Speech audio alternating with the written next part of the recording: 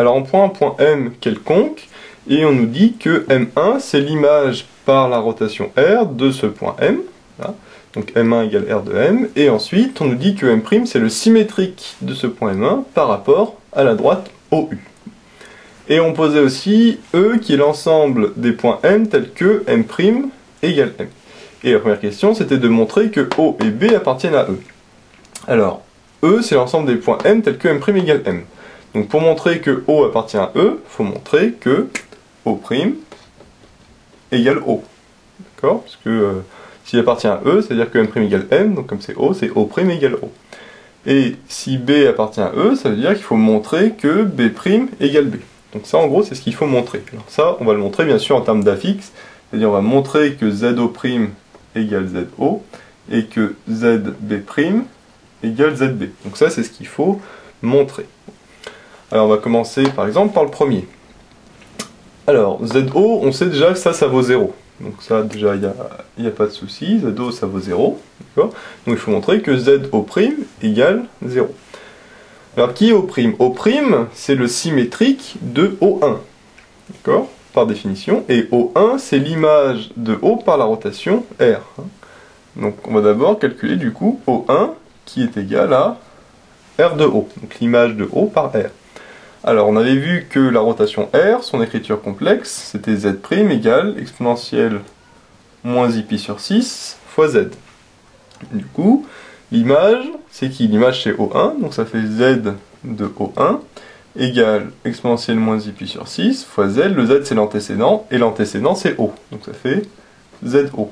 Or ZO, ça on sait que ça fait 0, donc exponentielle moins pi sur 6 fois 0, finalement ça fait 0. Donc le Z de O1, il vaut 0.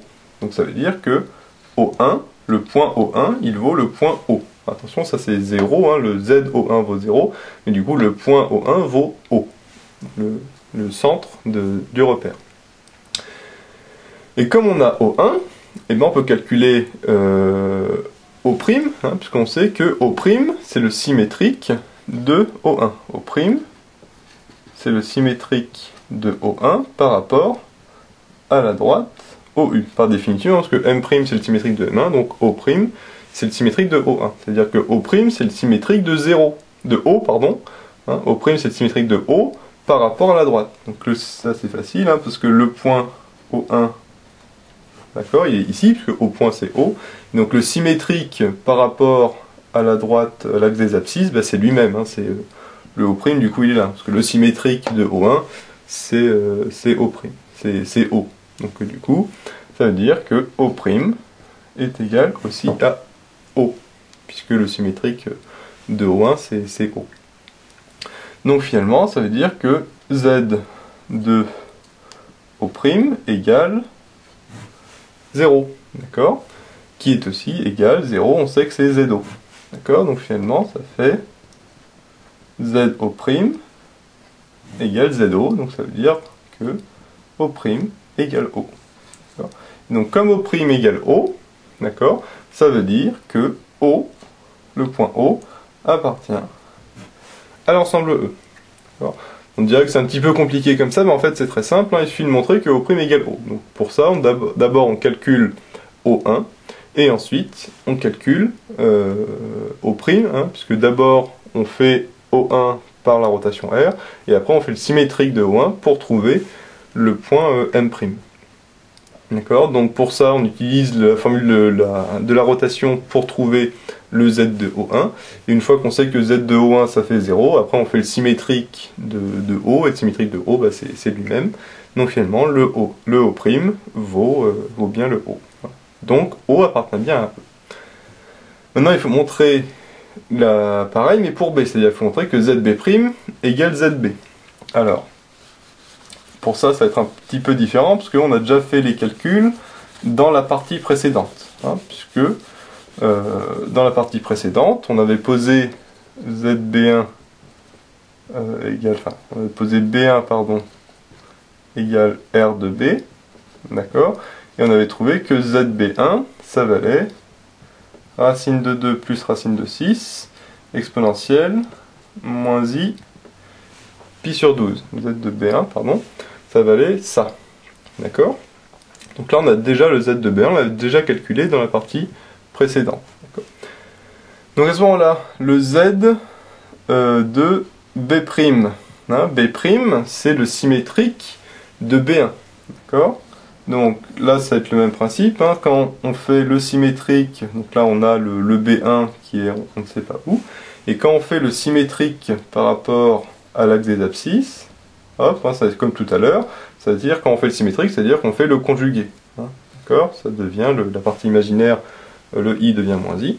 Donc finalement, le zb' c'est le zb1 bar, puisque b' c'est le symétrique de b1 par rapport à l'axe des abscisses.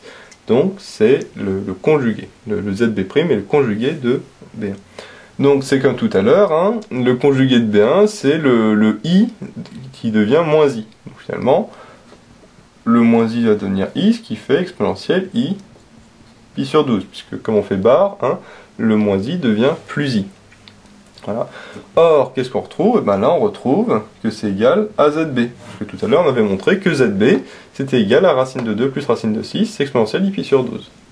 Donc finalement, on a ZB' égale ZB, ce qui veut dire que B' égale B. Hein, les deux points sont confondus. Et comme B' égale B, d'accord, ça veut dire que B appartient bien à l'ensemble grand E puisque l'ensemble grand E, c'est l'ensemble des points tels que M' égale M. Donc comme B' égale B, ça veut bien dire que B appartient à E, tout simplement.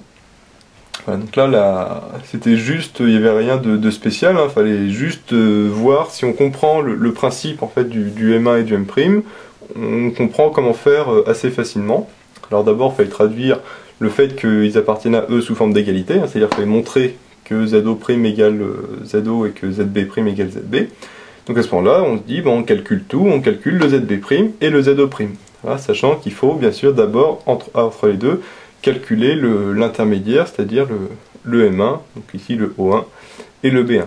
Et ça, euh, alors pour le O', ça fallait refaire les calculs, mais pour le point B, on l'avait déjà vu dans la question précédente. Du coup, il n'y avait pas besoin de le recalculer, puisqu'on avait déjà vu dans la partie précédente que valait le z de B1. Il faut bien comprendre que quand on fait le symétrique par rapport à la droite au U, donc par rapport à l'axe des abscisses, en fait ça revient à faire le conjugué.